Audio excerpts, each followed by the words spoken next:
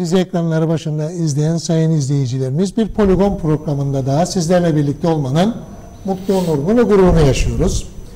Bugün geçen hafta getirmeye çalıştığımız fakat teknik nedenlerden dolayı yapamadığımız programımıza aynı konuklarımızla devam ediyoruz. Birbirinden değerli iki tane konuğum var. İskele Avcılık Atıcılık Kulüp Başkanı Ramazan Özterel Bey ve aynı zamanda yine İskele Avcılık Atıcılık Kulübü'nden hem yönetici hem sporcu bir kişi olan Mehmet Kızıltan Bey hoş geldiniz. Hoş bulduk Hoş bulduk. Hoş geldiniz. Hoş bulduk. Vallahi geçen hafta çıkaracaktık sizleri biliyorsunuz. Teknik bir nedenden dolayı çıkartamadık. Tabii ki önemli değil. Bence önemli olan programın devam etmesidir. Birlikte olmak önemli Tabii başkanım. ki. Şimdi bizler sizleri biliyoruz Ramazan Bey, Mehmet Bey. Günün sonunda şimdi ekranları başına bizi izleyen izleyicilerimiz, sizi tanıyanlar vardır, tanımayanlar vardır.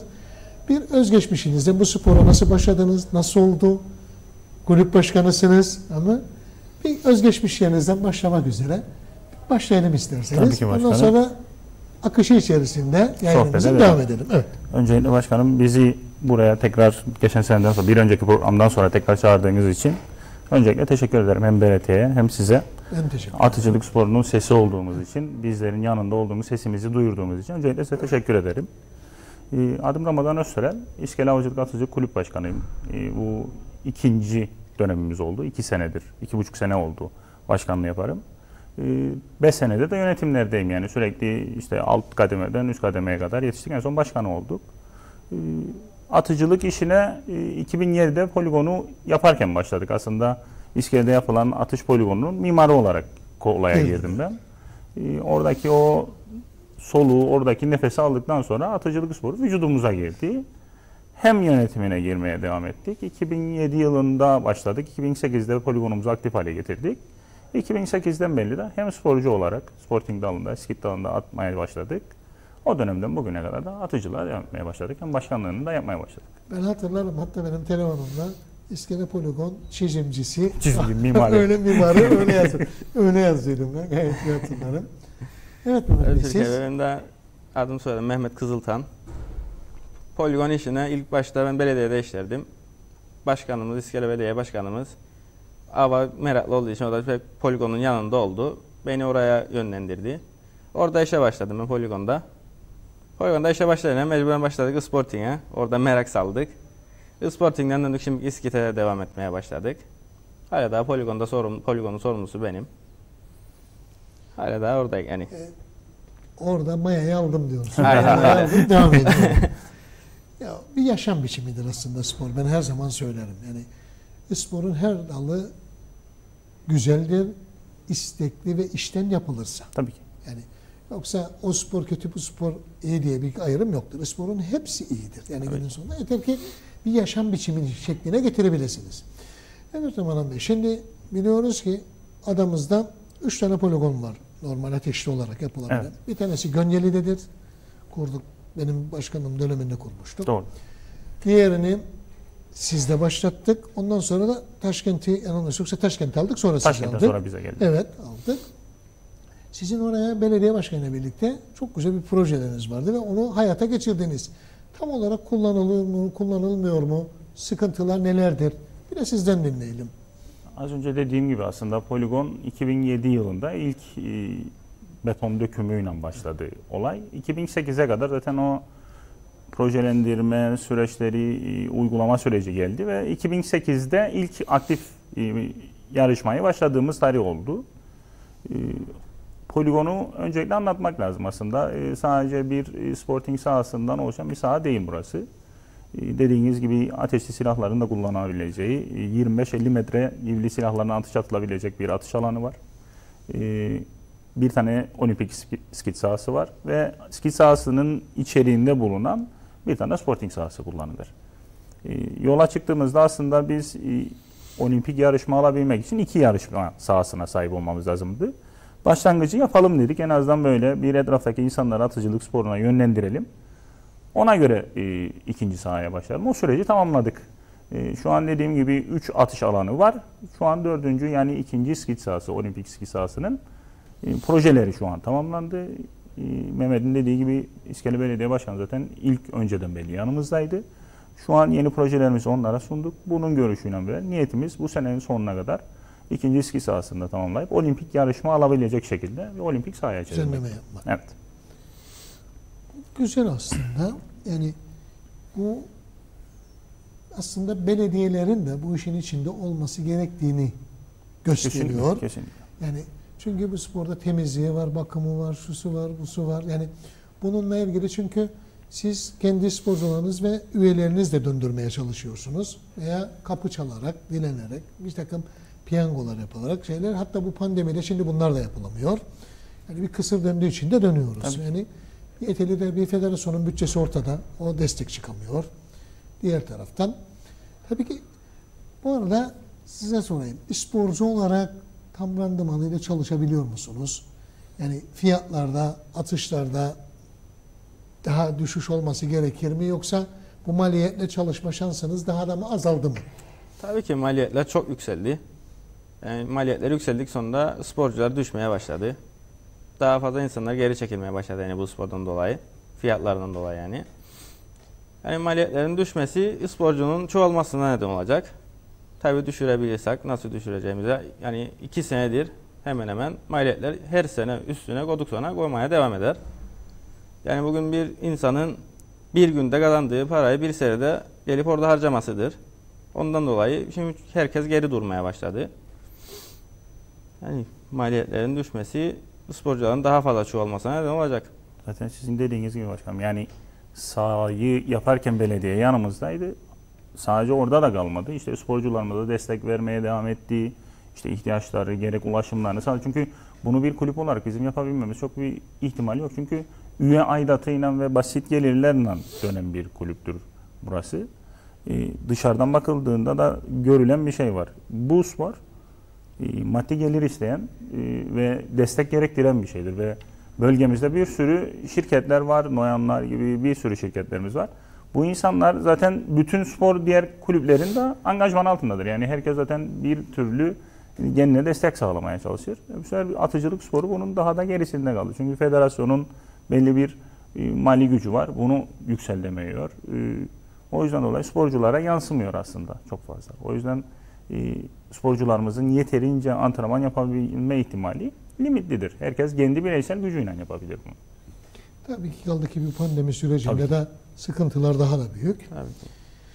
İnşallah sponsorlarla ve fiyatları da bir çalışmayla federasyon bizim bakanlık, spor bakanlığı yani spor dairesi, bakanlık yok aslında biliyorsunuz. Doğru. Spor dairesinin Evet. bağlı olduğu bakanlık ama bir çalışma yapar ve bu fiyatları biraz daha şeye çekerler diye düşünüyorum.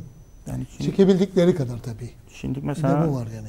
son günlerde işte bir tane e, iş adamımızın yaptığı bir çalışma sonucu yani fişen fiyatlarını aşağı çekmeyi başardık. E, bu çok büyük katkısı oldu bize. Yani şu an %15'ler, %20'ler gibi atı sayımız e, maliyetleri daha da aşağı düştü. Bunu bireysel olarak bir iş adamımız yapabiliyorsa devlet politikasıyla çok daha iyi yere gelmesi gerekmektedir. Gelmesi gerekir. Şunu sorayım başkan Mehmet sporcumuz olarak. Şimdi poligon yapıldı ve yoktan var edilen bir yerimizdir orası. Bir tesisimiz, güzide bir tesisimiz. Bildiğim kadarıyla avcı oranı ve avlak olarak da en büyük avlak sizin bölgededir. Doğru. He? Avcı sayısı olarak da büyük ihtimalle öyledir zannedersem. Mausa ile birlikte. Mausa da e, atıcısı, avcısı kaydısı daha çok. Düşündüğümüzde yani Mavosa'nın komple düşündüğümüzde o daha fazladır. Tabii ki bir türlü bu insanlar aslında poligonlara çekmek lazım. Bunun da formüllerini düşünmemiz lazım. Çok güzel bir poligonunuz var. Bundan ayrı ileride düşünceleriniz nelerdir? Neler yapmak istersiniz? Ama yani güzel olarak gelecek aslında 90'larımız, hatalarımız ki. Bunları da soracağım yani günün sonunda. Burası her şeyi konuşacağımız bir yerdir. Evet. Kimseyi eleştirmeden, isim vermeden, şey yapmadan ama doğruları da konuşarak Tabii yapmak tabii zorundayız. Evet başkan. Ee, bizim avcı sayımız aslında atıcı sayısının kat kat üstündedir. Yani bölgemizde profesyonel anlamda e, bu işi yapabilecek ve kulüplerin altında lisanslı olan sayısı bir elin parmaklarını geçmez. Ama avcıları poligonlara yönlendirmenin e, alternatifleri birincisi maliyetlerin yüksek olmasıdır. Birinci şartımız bu maliyeti aşağı çekmemiz lazım. İkincisi insanların gözünde bu atıcılık sporunun öyle çok canice bir spor yani ellerinde silah gördüğünde insanlar biraz da korkar işte der "O silahlı bir spor mu olur? Aslında yurt dışında gördüğümüzde çocuklar 14 yaşında atıcılık sporuna başlar. Kendilerini junior'da geliştirir, yıldız olur. İşte bununla ilgili çok daha iyi yerlere gelir. İnsanlara bunu anlatmak lazım. Biz poligonu yaparken en başta belediye başkanımızdan projelendirdiğimizde avcıları çekebilmek için e, poligonun merkezinde e, bir eğitim istasyonu kurmayı hesapladık. Yani şu an hala da projemizde geçerli ama e, dediğim gibi pandemi süreci projeyi yavaşlattırdı. İşte orada insanların gelip e, Avcılık Federasyonu Yunan'da birlikte bir e, protokol çerçevesinde birinci emniyetin nasıl kullanılacağı, silahın nasıl kullanılması gerektiğini, avlanmanın nasıl düzenleneceği, panoların üzerinde işte av hayvanlarının nasıl, hangi hayvanın avlanması, hangi hayvanın doğaya yararlı olduğunu gösteren bir istasyon projesi var e, poligonun merkezinde. Ama dediğim gibi bunu yaptığımızda avcıyı poligona çekebilecek, Poligona gelen çocuklar bunları öğrenebilecek. Ona göre de poligonda atma sevdasını bir şekilde onlara Eğitim sistemini düşünüyorum. kurmaya çalışıyorsunuz. Kesinlikle. Yani insanlara gelin atın mesela en basit örneği 11'inde güzel bir e, yarışmamız var. Köylülere bunu ulaştırmak zor. Yani insanlara denirse gelin atın ya işte şimdi orada gelecek biz atacak rezil olacak mı? Hayır yani bunu bir gelseler atsalar aslında yani kötü bir şeydir. Bir bağımlılık yapan bir spordur. Yani o silahla birlikte o atışa atan insanlar devam etmek Biz isteyecektir. onu söyledik aslında. Ben onu ta başta da söylediydim. Şimdi sporcu bakın bir vardır av bölümü vardır, bir vardır sporcu bölümü Doğru. vardır. Bu bizim doğamızda ve doğamıza bütün dünyada kabul gören bir olaydır. Tabii ki bilinçli silah kullanma olayı farklı bir olaydır. Tabii ki. O yüzden silah alınırken en başta eğitimden başlanması lazım. Kesinlikle. Ve Atıcılık Federasyonu'nda eğitimin olması lazım. Avcı olacaksa da Avcılık Federasyonu'na gidip avcılık eğitimi alması lazım. Doğru. Av hayvanı nedir, yaralanmalar nedir, e, avda yaralanırsa nasıl olacak, yılan sokma nedir? Tabii ta başta da ilk yardımı şeyde görmesi lazım. Tabii ki bunun bir düzenlemesi yapılması lazım. Bilir kişilerle oturup paydaşlarla bunu tartışıp bu bize neye getirecek? Bu bize şimdi başlanırsa 10 sene sonra bilinçli bir toplumu getirecek Kesinlikle bize öyle. sayı olarak. Ve daha farklı olacağı düşüncendeyim. Tabii adımlar atılıyor yavaş yavaş. Yanlış da olsa bir takım şeyler devam ediyor. Eğitim. Ayrı da olsa birleştirmede fayda var diye düşünüyorum eğitim bağlamında. Kesinlikle doğru. Başka bir bağlamda değil. Peki güzel. Sporcu olarak sen hedefin nedir? Yani ne yapmaya çalışıyorsun? Başladın. Çok güzel de haz alıyorsun, çalışıyorsun. Umutların, hedeflerin nelerdir? Yanlış olan nelerdir? Yani yetmeyen, sıkıntı yaşadığın durumlar nelerdir? Tabii şimdi sporcu olarak şimdi tek edemem. Yani İskit'e başladık. İskit atmaya başladım geçen seneden belli. Tabii kulübümüzün da bize yaptığı şeylerden dolayı yani çok aşırı yukarıya çıkamıyoruz. Maliyetlerden dolayı. Yani nereye dönersek dönelim yine önümüze maliyetler çıkar. Çünkü İskit yarışmalarına gitmek için belli bir antrenmanlar yapman gerekir. Yani öyle 3-5 daha antrenman yapıp gitmeyle İskit olmaz. Bizim yapabileceğimiz şimdi sadece sportingdir. Daha az maliyetli en azından iskitten, traptan. Tabii benim önerim yani ben iskit atmak isterim. Ama yapabileceğimiz kadar yapmaya çalışırız şimdilik. Maliyetler düşerse tabii daha yukarılara çıkmaya çalışacak. Şimdilik aynı yerlerde devam edecek. Böyle de bakacak artık. Yani maliyetler düştük sonra antrenmanlarımızı çoğaltıp bir yerlere gelmeye çalışacağız. Tabii ki Her şeyin başı çalışmadır. Yani günde e, haftada üç kez en az üç seri en az üç seri çalışman lazım. Tabii ki. Bu maliyeti gerektirir. Tabii ki pandemi sürecinde iş ortamı maliyetlerin yüksek olması insan aşı mı düşünecek, bunu mu düşünecek? Tabii ki. Bir de böyle bir sıkıntı var aslında. Evet başkan. Şimdi şunu söyleyeyim. Şimdi sizin orası poligonunuz mevcut. Doğru. Bu poligonla ilgili herhangi bir girişimde bulundunuz mu? Yazı yazdınız mı? Orada da silah bulunsun. Mesela buradaki poligona biz zamanında silah aldıydık. Seven dileyen herkes 21 yaşı doldurmuş. KKTC vatandaşı olan ve silahtan men olmamış kişi gelip parasıyla hem silahın hem mermisini alıp orada atışını Kiralayıp yapabiliyordu. Kontrol altında, defteri eşlenere kayıt altında. Doğru. E, aynı şeyin orada başlaması için herhangi bir girişim var mı, yok mu, ne aşamadadır, nerede tıkandınız? Aslında e, biz şu ana kadar hep şeyden konuştuk işte plak atışlarıyla ilgili sohbet ettik ama esas bizim e, orada plak atışlarından daha büyük bir yatırım bu ateşli silahlar kapsamında yaptığımız e, yivli silahların bulunduğu atılacağı poligonla ilgili yatırım yaptık. Yani şu an orada yaptığımız atış alanı yani 400 bin TL'den fazla bir para attık oraya biz. Yani belediye ile birlikte. E, şimdi bunun bize geri dönüşü olmadı. Neden? E, şu an bir poligon yaptık. E, 25 idi 50 metreye çekildi. Çünkü daha da e, geniş kapsamlı olsun, daha çok insanı çeksin diye bir hazırlık yapıldı. Ama ne oldu? E, elimizdeki sahada tabanca bulunduramayacak duruma geldik. Çünkü yasa bize şu an oraya silah alma izni vermiyor. Neden? Neden? E, e, son yapılan yasada işte e, bizim Lefkoşa'daki silahların oraya aktarılmasıyla ilgili bir süreç vardı. Anladığım kadarıyla e, federasyondan bize verilen bilgi. İşte yasa anlamında e, durdu son gelen hükümet sürecinde sonuçlandırılamadı. E, şimdi baktığınızda Ama bu başka başka da sormak istediğim şu. Şimdi sizin bir poligonunuz var. doğrudur. Yasa gereği de ateşli silah poligonu kurulduğu zaman Silah yasa der ki 3 tane tabanca verme şansı vardır. Doğrudur.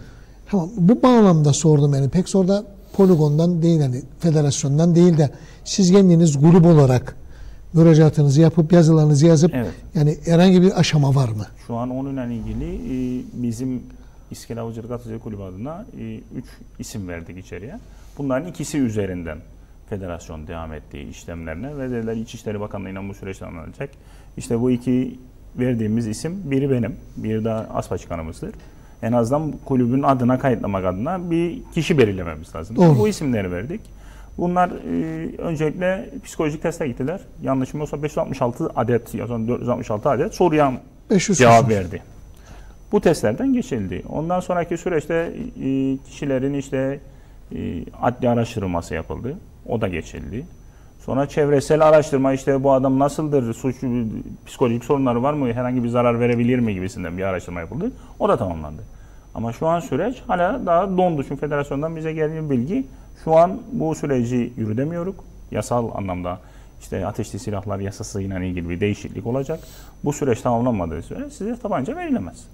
Bu süreci bekleyeceksiniz. Olur efendim. Yasa açıktır. Yani bu süreci beklediğimiz sürece de poligon orada e, zarar. Çünkü düşünün poligonumuz var. Ateşli silah bulundurma, e, mermi bulundurma hakkım var. Şu an poligonumda adıma kayıtlı 3000 tane mermi var ama buna atacak silahım yok. Çünkü silah, silah vermez. Bölgede de silahı olan biri yok yani. Şimdi başkan bunun prosedürü bellidir. Siz federasyonun üstünden gitmeye çalıştınız normalde. Çünkü federasyonun da silahlardan versinler size. Yasal bağlamda E, kısıtlama biz olabilir. orada birinci Sıkıntı yok. olması lazım. Ama günün sonunda siz müracaat edip ama sizin poligonunuz çünkü sizindir. Doğru. Başkasının değil. İzinler de size çıkıyor. İşletme adına izni, çıkıyor. çalıştırma izni Hepsi hepsi sizin alınmıştır. adınıza çıkıyor. Tabii. Ben hatırlarım. Bu bağlamda da silah izinlerle sizin grup adına çıkacak zaten. Üç tane. İşte orada bize geri gören belki bilgi eksikliği de olabilir bununla ilgili ama söylenen işte siz kulüp adına alamazsınız bunu. Zimmet dedik yani bizim orada şu an mesela atış alanımızda atış sorunumuz var. Ve bunda İçişleri Bakanlığı tarafından belirlenen bir e, daha önceden silah taşıma izni olan bir e, asubay, emekli asubay arkadaşımız var Alev Atış sorumlusu olarak İçişleri Bakanlığı tarafından oraya atandı. O olmadığı sürece kimse poligona gidemez, atış atamaz. E şimdi baktığınızda biz dedik hadi bizi araştırdınız. Belki araştırmayla ilgili yavaş yavaş prosedür ağır gidebilir. Bu adamın silah taşıma izni var. Atış sorumlusu olarak İçişleri Bakanı tarafından atanmıştır. Bu adama zimmet edin. Onu da kabul etmediler. Niye kulübe verilmezmiş? Yani söylenen işte kişi olması lazım. Ama o zaman siz de poligonu sözleşmeyle devredin şahsa. Kişi bazına döndürülür. Kişi başına döndürün. Kişi baş, Yani kişi müracaat etsin. Kişi alsın o zaman. İşletmeci de bazına döndürmesi lazım. İşte belediye başkanımız bununla ilgili son işte İçişleri Bakanımıza gitti. Bununla ilgili nasıl aşılabilir diye süreci. İşte bu haftayı bekleyecek. Yani pazartesine kadar bekleyip olmak görecek. lazım tabii yani. Şimdi E, zaten çok güzel bir tesis var orada. O tesis kullanamıyor. Prosedürler çok uzun Şimdi sizin eder. binanız da var yani. Tamam Taşkent'te de bir poligon var ama Taşkent'te bir bina yok. Tabii ki. Binada yapılamaz çünkü orası orman arazisidir. Ama yani orada taşımayla gidip gelmesi gerekecek. Ama sizin öyle bir sıkıntı yoktur. Çünkü geldiği zaten Sizin- e, taban Sizin polis karakolu da yakındır. Gerekirse poliste de durabilir. Hiçbir sıkıntı yok yani orada. sıkıntı, mesela süreç nasıl çalıştı? Ateşli silahların mermilerini bulundurmanız için öncelikle e, 24 saat çalışan alarmınız olması lazım. Evet doğrudur. 24 saat canlı yayın yapan kameralarınızın olması lazım ve bunu da doğrudan polise bağlı olması lazım. Bu bahsettiğiniz şeylerin bize geçen sene gideri yaklaşık 4000 eurodur. Bu büyük bir paradır. Ama geliri olarak geri getirisi yoktur. Yani sadece sizin polise bugün gidip e, kamera sisteminizi bağlamanız yıllık bir asgari ücret demektir. Vermeniz gerekir. E, bu korkunç bir şeydir. İşte bunun en büyük sıkıntımız aslında buraya geri kanı bunu söylemekten de çok rahatım. Biz e, bir şekilde plak atışlarını çözebilir bireysel olarak. Ama e, yivli silahların ki getirisinin gerçek anlamda galiba döneceğine inandığımız kısmının sorunlarının tamamlanması lazım. Kaç yolludur poligon Ramazan? 8. Olimpiktir. 8 poligon. Yani Olimpik 8 hattı sekiz vardır oldu. ve atış alanı şeydir yani normal girip tahtanın içine gireceksin zaten bayağı galifi olan Bilirim, bilirim. emniyet şeritleri olan yaklaşık 5,5 metre yüksekliğinde toprak güvenlik hattı olan bir alandan bahsediyoruz. Girişi de o gibidir Tabii ki, zaten. tabii ki. Yani- Testir. E, geliştirmeyle ilgili yapılacak bütün gelir orada. Yani şu an 22'lik de biz e, elar dediğimiz fişekleri bile aldık. 22'lik olimpik tek atış atabilecek tabancaya bile izin verilmedi. Ama bunlar fişengini bana sattırıldı. Ve şu an depomda dururlar ama bir anlamı yoktur. Ben sporcu isterim mesela çıkayım göndereyim buraya. E sporcumun antrenman yapacağı silahı yok. Tabii haklı olarak Mehmet de der ki ne sporcuyum hemen giderim zaten pahalıdır. Aynen. Hiçbir şey yok. Ararım spor yapayım, sporumu yapamıyorum. Bir taraftan çalışma yapmazlar. Benim şefkim kırılır der. Kesinlikle. Adam haklı olarak. Kesinlikle doğru. Yani çözülür mü? Federasyonumuz bu konuda gerçek anlamda inanmak isterik yani bununla ilgili sorunların çözüleceğine. Ha, e, Kıbrıs'ta da çalışma sistemi biraz siyasi baskı oluşturmak lazım. Belediye başkanımız da bu konuda gereğinden fazlasını yapar. Çünkü bu poligonun orada olmasını isteyen bizden daha çok belediye başkanımız. Çünkü orası polisimize hizmet edecek. Kayıtsız olan silahların kayıtlanmasını sağlayacak, gerçek bir otorite sağlayacak. Yani herkes artık kafasında işte yılbaşıları sağa sola atmaktansa silahını kayıtlayacak, oradan yasal mermisini alıp Zaten- atacak ve gidecek. Zaten hedef oydu. Bütün zaten. kurulma amacı oydu. Bu bölgede vardı. Son bir de Lefke bölgesinde kurulacaktı. Üç bölgede olacaktı. Ama bu bağlamda da bir polis olacaktı normal. Yani biz sivil bacağını yaptık. Diğer bacağını yapamadık. Çünkü polis her dönem gider tabancaları kontrol eder. Kimde var kimde yok. Kimisinde taşımadır. Kimisinde hem taşıma hem tasarruftur. Evet. E, tasarruf olan evde silahı tutar mı? Tutmaz, beline akar gider büyük ihtimalle. Yakalanırsa suç işler zaten. Bu bağlamda o adam gidip atış yapmak ister, yapamaz. Hem kontrolünü sağlayabilmek hem de daha bir kontrollü hale getirebilmek için Tabii ki. kuruluydu. Hedef buydu yani 2013'te Esas amaç itibaren oydu. bu süreçte. Yapıldı bir kısım aslında giderek daha ileri gideceğine inancım var. Pandemiden dolayı herhalde bir sıkıntılar yaşanmıştır Yavaşlamıştır süreç. diye düşünürüm. Çünkü herkes sağda yoludur. Sporun da gelişmesini ister. İllegal olmaktansa legal olması her zaman iyidir bizim için. Kontrol edilebilir Tabii olur. kontrol edilebilir olması şart. Evet hep biz konuşuyoruz. Biraz da Biz sporcular aldık sohbeti gittik. Evet. Başka hangi branşları yapmak isteyen yani neler var? Şimdi Sporting'den başladın. İSKİ'de geçtin. İSKİ'de. İSKİ'den sonra neler yapmayı planlan ve neler olmasını isten yani. Yani İskit. Şimdi doğrudan biz İskit'e yöneldiğim için tek şey ben İskit'ti şimdi. Sport Varım zaten- yoğum İSKİT diyorsun. Nazım Evet. çıtaya yükseldi. Ama maliyetler beni engeller diyorsun. İskita en uç Yani bu hem nokta. kulüp başkanlarıdırlar hem de ekranlardan toplumumuza. Aslında e, İskit seçmek Mehmet için e, o yeteneğe sahiptir. Ama İskit'te de bir sıkıntımız var. Herhalde en başarılı sporcuların toplandığı dal da herhalde İskit'tir. Yani bir yarışmaya gittiğinizde yani 114-115 atıp 6. bile olamayıp finale, Finale giremezsiniz. Yani biz girdik şimdi çabalarız aman atalım derken ve 100'ler 105'ler atımıza başarı zannederdik ama Vallahi başkan değil. ben ben de bir sporcuyum yani bilirsiniz. Doğru. Ben de Tabii ki. trapist atmam ama diğerlerini hepsini atarım. Ama bu bağlamda ben her zaman şuna inanmışımdır. Kimseyle yarışmam. Tek yarıştığım kişi kendimdir. Kendimi geçmeye çalışırım. Kendimi geçtiğim zaman zaten herkesi geçerim. Bütün plan. Yani hep bunun üzerine kurmuşumdur ben hayatımı. Kendim kaç attım diyelim? 5, 6 atmam lazım. 6'ya atarsam geçeceğim zaten kendi kendimi yani kendimi geçtik sonra bir başkalarını hiçbir zaman idol almadım, hedef de almadım. Hep kendimi geçmeyi hedefledim ve kendimi de geçtik sonra başarılı olduğuma inanırım. Birileri de geçemez oldu artık size. Öyle yani, yani sistem bu yani bu şekilde çalışırsanız Doğrudur. iyi olur. Ya da her zaman için antrenörün sözünü dinlemek lazım. Ki. Eğer bildiğini okumak değil, antrenörlü çalışmak. Tabii bizde bu biraz Doğrusunu kısıtlıdır. öğrenmek. Bütün dünyadaki gibi değil. Tabii ki bizim bölgemizde mesela özellikle e, İskit'le ilgili teorik bilgi herkes bir şekilde okur, alır ama e, bizi Bir antrenörlüğe sevk edecek bir adamlarımız e, yok. Doğru. bir kaptanımız var. Bu Mustafa aslında abi. benim federasyon başkanlığım döneminde de en büyük eksikliklerden bir tanesidir Eğitim. bu. Yani bölgelerde antrenör belirleyip ücretli yapıp en azından poligonlarda bulundurmak lazım. Belli dönemlerde eğitim maksatlı. Doğrudur. Biz bunu yapmadık hiç. Daha da gelişmesini sağlar. Evet. Şeyi sorayım ya başkan. Ulağıma geldi. Söz arasında da konuşurken. Ligi kurdunuz. evet. Şimdi bu ligden yani istenilen oydu zaten. Bir ligin başlamasıydı. Bu ligi ne olarak kurdunuz? Kimler kurdu? Hedefini ne istersiniz? Yani günün sonunda sıkıntılarınız var mı? Yok mu? Ne şekildedir? Bir bunlardan bahsedersen.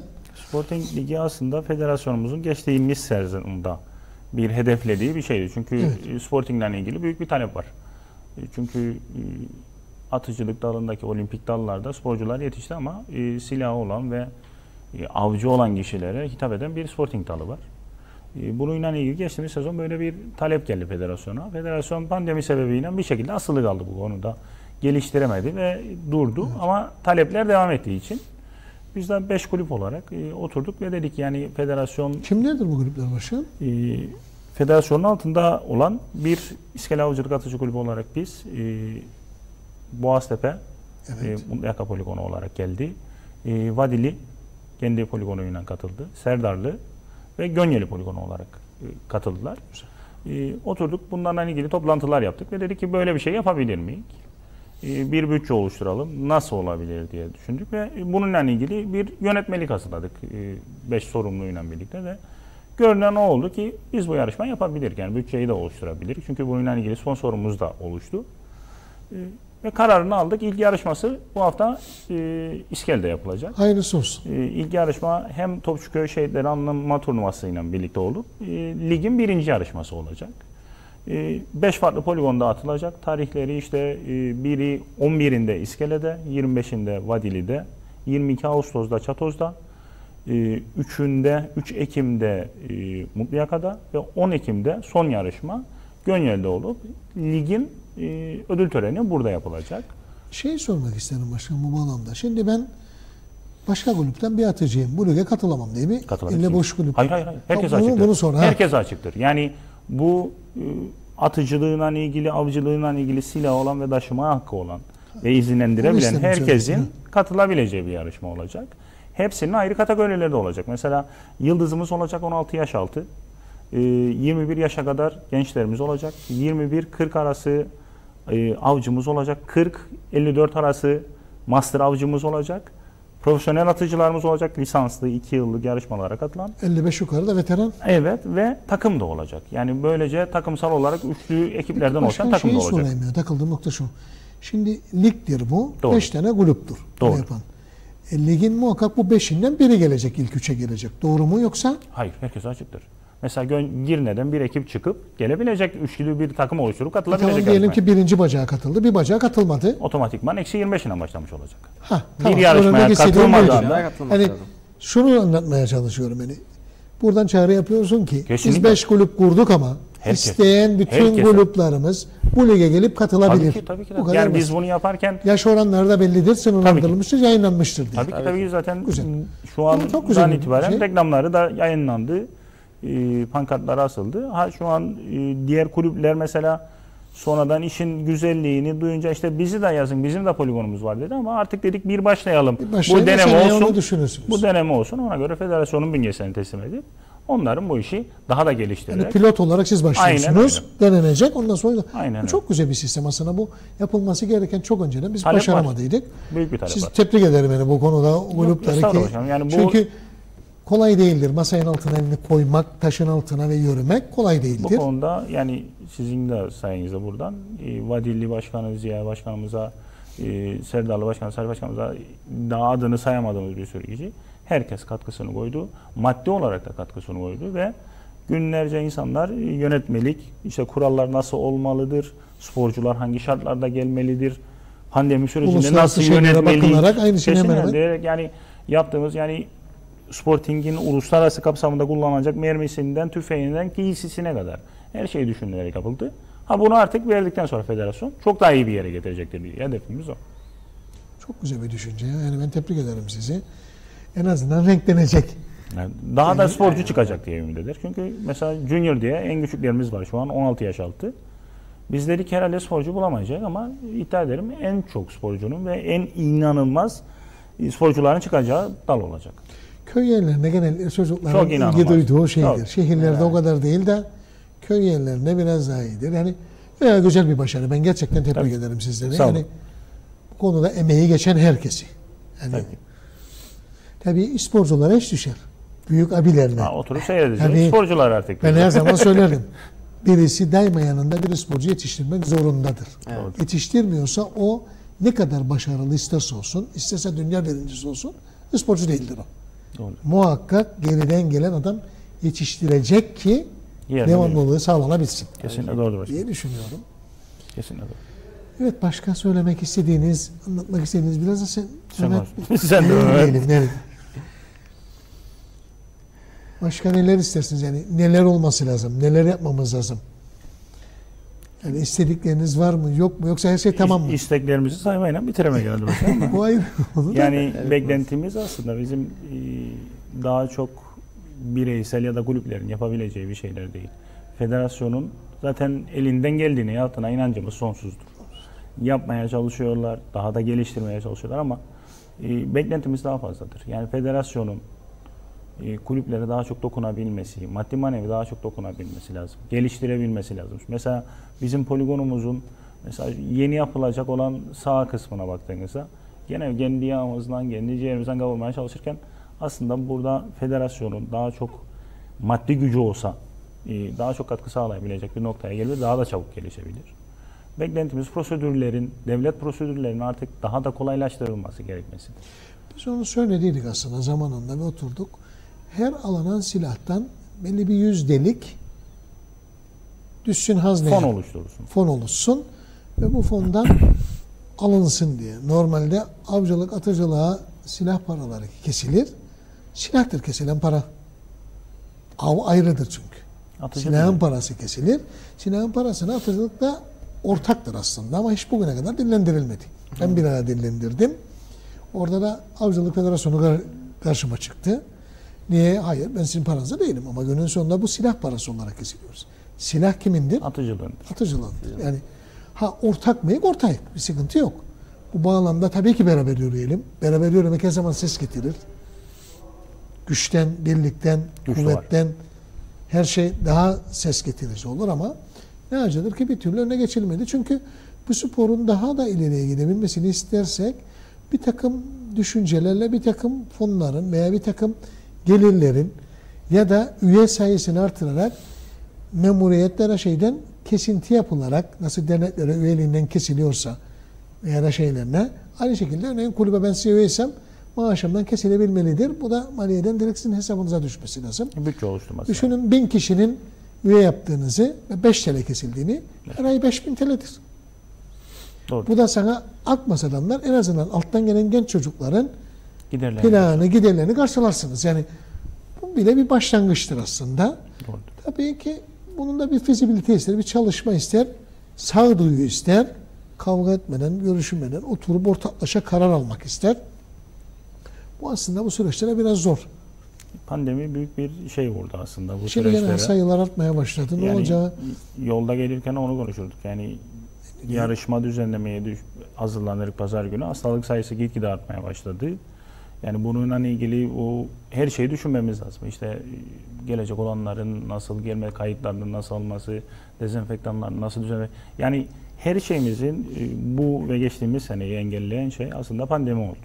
Pandemi bizi yavaşlattı. Birçok konuda yavaşlattı. bununla yaşamayı öğrenmemiz lazım başkan. Çünkü bu süreçte Bir öyle anda- gözüküyor ki hayatımızdan hiçbir zaman Bir çıkmayacak. anda hayatımızdan çıkmayacak. Yani Çıkmayacak. aşıyı Bununla salındık. ilgili tedbirlerle, tedbirleri alarak, görüşerek, en azından aşı yapılarak veya aşı olmak istemeyen de artık kendi bileceği iş. Günün sonunda ama tedbirleri elden bırakmadan Kesinlikle. sürdürmemiz gerektiğine inancım tamdır. Yani Şu Atıcılık sporu zaten e, bireysel bir spordur aslında. Çok fazla temasın, çok fazla işte hastalığı yayabilecek bir ortamı oluşturan bir şey değil aslında. Bu bir tek bize biraz şey havalının, sağlıyor. havalının ortak alandır kullanılan. Geriye kalan sporumuz hep açık havadadır. Ve mesafeler şeydir. Var zaten Bir yani. tek diğerinde kapalıdır. Onda da kıyafet. Kıyafeti de değiştirmezsiniz. Çünkü azlıktan dolayı kıyafet değiştiriyorlar Doğru. havalıda. kıyafetlidir. Ona da tedbir almak lazım aslında. Bir tek o sporu, geriye kalan sporlarda hiçbir sıkıntımız yoktur. Yok sporcularımız da bu konuda zaten bayağı bilinçlidir. Yani İskit yarışmalarına gittiğimizde gördüğümüzde herkes işte atışını tamamlar gider, kendi yerinde oturur. Ee, Dışarıya çıkacağında işte maskelidir. Yani bu konuda federasyonumuz o görevi iyi yaptığını düşünürüm.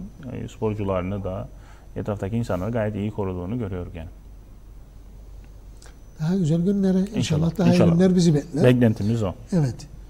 Bununla ilgili vallahi giderek zamanımıza su gibi akıyor. Sohbet güzel. Son kaldı. Sohbetimiz güzel. Bir 20 dakikalık bir zamanımız kaldı. Öyle gözüküyor. Ya da 15 dakikalık bu sürede. Hoş bir sohbet, güzel oldu aslında. Devam ediyorum. Sporcu sayınızı artırmak için başarılı sporcuları başka kulüplerden almayı planlıyor musunuz? Yoksa biz hayır biz açık değiliz dışarıdan sporcu almayı biz kendi sporcularımıza mı giderik düşüncesi misiniz başkan? Şu an- Sorayım beni.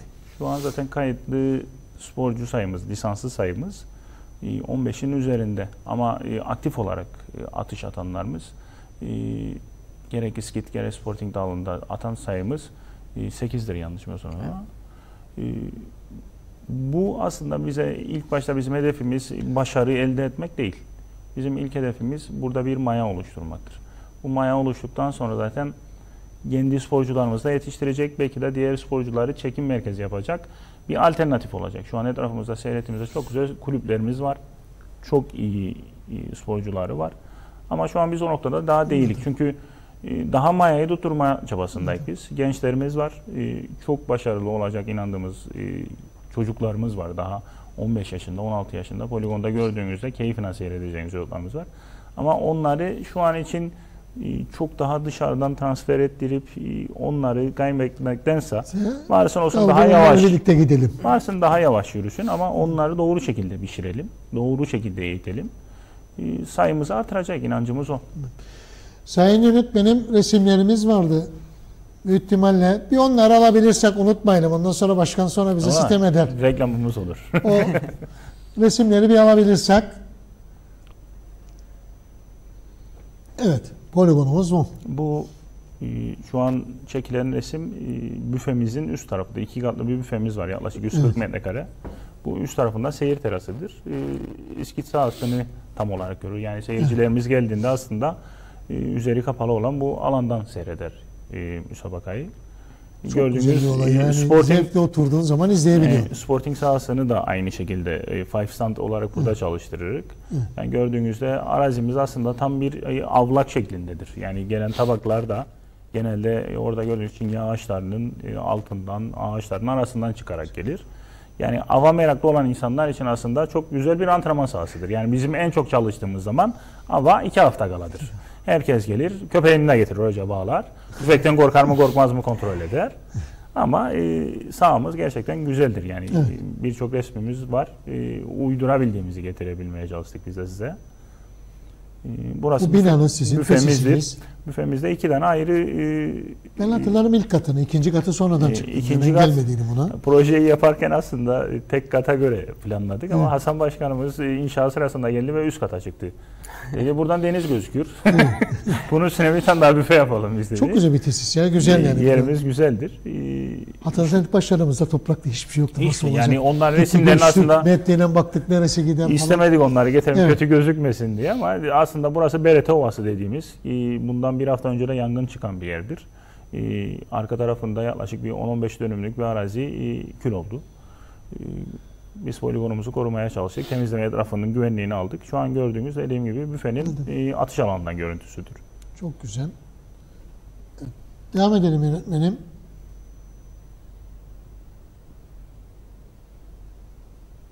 Fotoğraflar aynı şekilde. Aynı şekilde devam ediyor. Evet, O, bu sporcumuzun kanıtıdır bu. Genelde Mehmet'in e, Sporting'den aldığı kupalar zaten şu an kulübümüzde hepsi sergilenir zaten. E, Sporting konusunda en yetenekli sporcularımızdan bir tanesidir Mehmet. Bu da Tabanca Poligonu'nun e, belediye başkanlarımız ilk tarafından açıldığı zaman. açıldığı gündür. Aslında açılış anlamında değil, e, biz tamamladık izinlerimizi aldığımız gün e, belediye başkanlarımıza rica ettik. Gelin bir deneyin bakalım poligonumuzu ne der. E, sağ olsun hepsi de orada oldu. e, Mehmetçik, Akdoğan ve İskele Belediye Başkanımızın atışları. E, işte orada gördüğünüz arkadaşlardan bir tanesi tam atış alan yanındaki e, poligonun atış sorumlusu olan Ali Övdü'dür. E, emekli asubayımızdır. E, Mehmet'in İskit yarışmasındaki son Gönyeli yarışmasındaydı. Gönyeli, Gönyeli evet. yarışmasındaki e, görüntüsüdür bu da. İsmi. Bu da Yönetimi. yönet- yönetimimizdir. Evet. Gördüğünüz gibi yaş ortalaması Burada genelde bir 35'i isimlerini bir geçmez. sayarsan başkan en azından yönetimde Tabii ki, şey tabii etmesin. ki. Ee, sol baştan başlayalım ayaktan. Sol baştan başlayalım. Gökhan Öztugay e, bizim yetiştirme sorumlumuzdur. Evet. Davut e, Yahyaoğlu atış sorumlularımızdan bir tanesidir. Evet. O Ben- kalalım o yönetimde kalalım orada. İsimleri bir söylerlerdi. Bir geri gelebilirsek. Burada duralım. Burada duralım sayın yönetmenim. Budur. E, ben varım. E, Esat Çemmedo e, poligon sorumlusudur. Evet. E, Erkut Yılma Başar bizim basın yayın sorumlumuzdur. Bir tam Yılma Başar. Evet. Mehmet'in neydi? e, kardeşi oğludur. Kardeşi oğlu da. Kardeşi oğludur. Yakup hocamızın oğludur. Ee, sol altta bir Ketenoğlu as başkanımız. Ee, Murat Cemil Bulut bizim e, balık sorumlumuzdur. Çünkü aynı zamanda farklı dallarımız Evet. var. Faysal Devrim Güden e, bizim e, hukuk sorumlumuzdur. E, Mehmet dediğim gibi poligon çalıştırıcımız aynı zamanda vezinedarımızdır. Çok güzel. E, para hesaplarını genelde o tuttuğu için para da vermiyor bize. Hadi bir ekip işidir bu. Aynen. Yani, Yani, ekip işi, ekip aslında biz burada bu arkadaşlarımızı göstermek sebebimiz çünkü gerçekten kendilerinden vererek çalışırlar. Bizim bölgemizde bir kulüp yönetmek ve bununla ilgili çok büyük hedefler koymak zor bir iştir. E, kendimizi bu konuda çok mütevazı olmayacağım. Yani bir önceki yönetimden mesela Ali Başkanımızın da çok büyük emeği oldu. E, poligonun başlangıcından çalışma sürecine birlikte atılan kulübün temelleri şu an kulüp kendi bütçesini oluşturabilecek, e, yatırımlar yapabilecek durumdadır ve dediğim gibi şu anki poligonu e, büyük bir gelirini e, poligonun maddi olanaklarını kulüp kendi öz bünyesinden sağlayacaktır. Yani gidip spor dairesinden ya da bir yerden almayacak. Belediyeyle birlikte belediyenin vereceği işçilik katkısı bizim vereceğimiz maddi kaynağından ikinci sahayı yapmaya çalışacak. Çok güzel. Bu büyük bir hedeftir bizim için. Ya inşallah artık programımızın sonuna doğru geliyoruz herhalde. Kaç dakikamız var? 5 dakikamız var. Bununla ilgili son neler söylemek istersin? Mehmet Bey senden alalım. Yani neler söylemek istersin? Yani neler yapmak, yapmaya söyledin zaten de neler duyguları nelerdir yani neler anlatmak istiyorsun? Son sözlerinizi alalım yavaş yavaş. 5 dakikamız kaldı. Poligonumuz için mesela ekstra sahamızı yaparsak daha fazla canlanacak poligonumuz. En azından yarışmaları da bize alabileceğiz. Mesela İskele'nin İskit yarışması var. Talefke'ye çıkar. İskele'nin yarışması Lefke'de yapılır. En azından poligonumuz olursa, ikinci sahamızı da bitirebilirsek onu da buraya almaya çalışacağız. Daha çok şenlenecek poligonumuz en azından İskit yarışmalarıyla. Sporting yani herkesin katılmasını istersin. mi? Tabii ki. Tabii. Rekabet olsun en azından Tabii bir ki. yarışma olsun. Evet. Tabii ki. evet başkan. İyi, Son sözlerimiz şey olsun başkan. Dediğim Ben şeyi isterim ya öğreneyim aslında. Şimdi aslında bu programdan sonra bir ara bir konuşalım 3-4 dakika. Neler yapabiliriz o tabanca konusunda? Ne yapabiliriz? Neler olabilir? Ne şekilde yapabiliriz? En azından orayı bir canlandıralım. Çünkü bir kayıptır. Doğru. Olduğuna inanırım. Buyur başkan kestim Hem- seni özür Yok yok dilerim. ne demek estağfurullah. Yani, yani burada dediğim gibi son sözlerimiz şey olsun bizim. Ee, bizden önceki yönetimlerden de aldık biz bu görevi. Ee, bizim istediğimiz bu poligonu gerçek anlamda topluma kazandırmak ve toplumdan e, etraftaki bu kadar kötü alışkanlıkların olduğu bir yerde gençleri kurtaracak bir yer oluşturmaktır. Esas hedefimiz bizim budur. Sokaktan alacağımız bir çocuk e, bu uyuşturucu bağlamında, e, kötü alışkanlık bağlamındaki çocukları kurtarmak bizim en büyük hedefimizdir. Biz burada maddi gelir sağlamıyoruz. Sporcularımıza da attırdığımız her şey e, açık e, ve onların gözünün önünde hesaplanarak yapılır. Giderleri 1 liraysa sporcularımız burada 1 lira yatmaktadır. 1,5 lira yatmamaktadır. Yani gelir sağlamadan sadece kendini ayakta tutan, kendi kendini döndüren bir sermayesi olan bir yerdir burası. Ve biz her zaman diğer kulüplere de aynı şeyi söyledik. Bu poligon bizimdir, biz yaptık ama hepimizindir. Yani diğer kulüplere de çağrımız neydi? Bize kendinizin belirleyeceği 10 sporcu ismini verin. Bizim sporcularımız nereden yararlanıyorsa sizin sporcularınız da bundan yararlansın. Çok güzel. Biz çünkü buradan bir gelir elde etmek değildir değil. Çünkü e, kırsalda yaşayan ekiplerik biz. E, işte Mehmetçik gibi, Büyük Konuk gibi, Çayırova gibi birçok derneklerimiz var etrafımızda ve bunlara hep aynı şey söylüyorum. Bizim değil burası. Hep beraber yapalım, hep beraber yönetelim. Ha kurucusu olarak bizik, belki sahibi olarak gözükmekteyiz ama bu bütün toplumundur. Bütün herkesin kullanacağı bir şekildedir. Hedefimiz geliştirip daha da bu insanlara olanak sağlamaktır. İstediğimiz o. Tabanca konusunda dediğim gibi beklentimiz çok. Yani sadece işte ufak tefek bizim ağzımıza bir bal çalınıp işte alın atın biraz değil. Bizim derdimiz buracıkta insanlara ulaştırabilmek. Açık söyleyeyim bugün plak atışından daha çok talep var tabancayla atış yapmaya. Doğru. Ve insanlar gerçek anlamda buraya gelip atış atmak istiyor. Biz bu şeyi hizmetin olanağını kurduk fakat yararlanamıyoruz. Yani bu prosedürsel bir sıkıntıysa buradan federasyon başkanımıza da söyleyelim. Eğer prosedürler bir sıkıntıysa artık çözülmesi gerekir. Çünkü e, yıllık verdiğimiz giderleri yani bir mermi bile aldığınızda sadece gideceğiniz mermi fiyatı kadar e, orada izin almanız lazım. Doğru. Yani burada patlayıcı maddeler müfettiş Sayın e, Muammer abiye de teşekkür ederim. Bize her zaman bu konuda yardımcı oldu.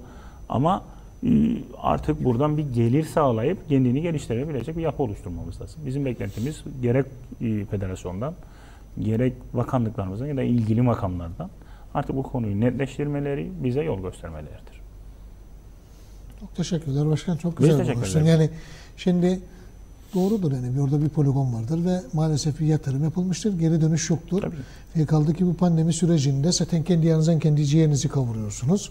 Bu bağlamda da bir şeylerin daha iyi gitmesini istersiniz. En doğal hakkınız. Tabii ki. İnşallah küçük ufak tefek şeylerdir ve bu sorunlar giderilir diye düşünüyorum. Öyle ederiz. Duyarlı olduklarına inanırım. Pandemiden dolayı geciktiği kanısındayım yani. Ben art niyet falan Yok beklemiyorum. asla asla. Öyle Yani bir ölçüde bir Şimdi şey hepimiz Yok. birlik burada. Günün sonunda bu ülkenin sporu için çalışıyoruz. Bu ülkenin daha çok sporunun ülke sporuna katkıyı sağlamak için hepimiz elimizden gelen katkıyı sağlamaya çalışıyoruz. Doğrudur. Kimseyi kötülemeden, kimseyi yapmadan Asla. ama yanlışlarımızı da söyleyerek doğruları ortak zeminde, ortak fikirle devam ettirmek için konuşuyoruz. Onun için bu programı devam ediyor ki bütün halkımız da bilinçlensin. Sizleri tanısınlar. Daha çok ilgi alaka olsun. kapatmadan Yani silahın sadece kapatmadan son bir söz isteyeceğim Tamam. senden. Yani Aklınızda olsun. şundayız biz yani silah doğrudur. Bu toplum yıllardır savaşın içerisinden geldiği için silaha ayrı bir gözle bakılıyor olabilir ama sportif maksanda hiçbir zorluğu olmadığını ve spor içinde kullanılan en az bir araba kullanım kadar tehlikeli olduğunu Kesinlikle. hatta araba kullanımın daha da tehlikeli olduğunu Peki. ama söylemek istiyorum çünkü bizim sorumuz 21 yaşında başlıyor ateşli silah kullanmaya. Aynen. Araç kullanmaya ise 17 yaşında başlıyor. Ama öğreninde başlıyor. 18'de ehliyetini alıyor. Yani bu sporumuz bizim askerliğini yapmış, kendi kişiliği oturmuş 21 yaşındaki bir insanla devam ediyor. Kesinlikle. Tabii ki hatalar var olacaktır, yanlışlar olacaktır. Bunları en asgariye nasıl indirebiliriz? Nasıl bilinçli bir toplum yetiştiririz? Bunların ortak kararında, faydalarına buluşup gitmek lazım. Silah kötüdür, atın anlamında olmaz. Böyle bir yaklaşım olamaz zaten. Çünkü dünyada kabul gören ve yapılan bir spordur. Onun haricinde buyur başkan son sözünü alalım. Birçok kelimeyi Evet. aynı kullandığı için aslında e, aynı şey söyleyecektik. Yani insanların o tabancayla ilgili sanki işte beline takıp gezecek bilmem ne diye değil. Burada sporcu yetiştirmektir amaç. E, görünüldüğü gibi işte tehlikeli bir spor bugüne kadar atıcılık barışında böyle bir tehlikeli yaşayan ya da herhangi bir şey duyulmadı, görülmedi. İnsanların silahı daha doğru kullanması gerek atış silahları gerek tabancayla ilgili daha bilinçli olmasını sağlıyoruz aslında biz. E, buydu bizim istediğimiz. E, son sözüme bir şey eklemek isterdim. Dediğiniz gibi az önce bahsettiğimiz Sporting Ligi ile ilgili. Burada herkese de bir çağrımız olsun. Yani burada bizi seyreden atıcılık e, dalında, atıcılık camiasındaki arkadaşlarımıza da çağrımızdır. 5 yarışmadan oluşacak yarışmamız 11 itibaren İskel'de başlayacak. E, Herkesin katılmasını isterik. Çünkü burada e, bazı düzenlemeler de yapacak. Yani sadece atıcılığıyla ilgili değil. E, Orada bazı satışlarımız olacak ve bu satışlardan gelen gelirleri ihtiyacı olan arkadaşlarımıza bağışlayacak. Hasta iki tane çocuğumuz var. Bununla ilgili bütün camialar bir şeyler yapmaya çalışıyor. Atıcılık dalı olarak biz de bir şeyler yapmaya istiyoruz. Oraya gelenler buraya da katkı sağlayacağını biz. Çok teşekkürler başkan. Biz teşekkür ederiz. başkanım. Yani bu yarışmalar anlamlı bir yere gidecektir Tabii ki. geliri. Aynen öyle. Bu güzel bir şey ya. Uğraş vermek güzeldir. Meyvesini de görmek güzeldir. Yani Günün sonunda çalışıyorsunuz, emek harcıyorsunuz. Tabii ki karşılığında bekliyorsunuz. İnsan bir teşekkür bekliyor. Bir onurlandırmak yani ödüllendirilmek istiyor. O kadar. Yani başka bir şey için değil. Yani Kesinlikle. Günün sonunda. Evet, süremiz doldu. Buraya kadarmış. Sağ olun başkanım. Evet sayın izleyicilerimiz, bir poligon programının da sonuna geldik. Zamanın nasıl geçtiğini anlamadık. Zamana yetişmeye çalışıyoruz ama ne acıdır ki zamana yetişemiyoruz. Bizi ekranları başında izleyen poligon izleyicilerine iyi günler, sağlıklı günler, esenlikler kalın. Bir sonraki programda görüşmek dileğiyle. Hoşçakalın.